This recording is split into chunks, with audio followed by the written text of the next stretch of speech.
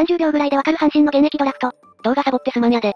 今日の現役ドラフトで洋川選手が阪神から西武へ移籍。ようか頑張るんやで。大竹幸太郎投手がソフトバンクから阪神に移籍することになったぞ。よろしくなんやで。洋川選手は今季、貴重な対左枠と代打枠として活躍。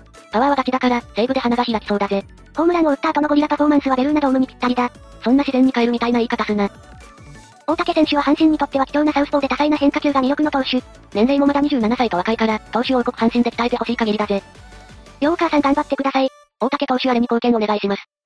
以上、那須の野球やらチャンネルでした。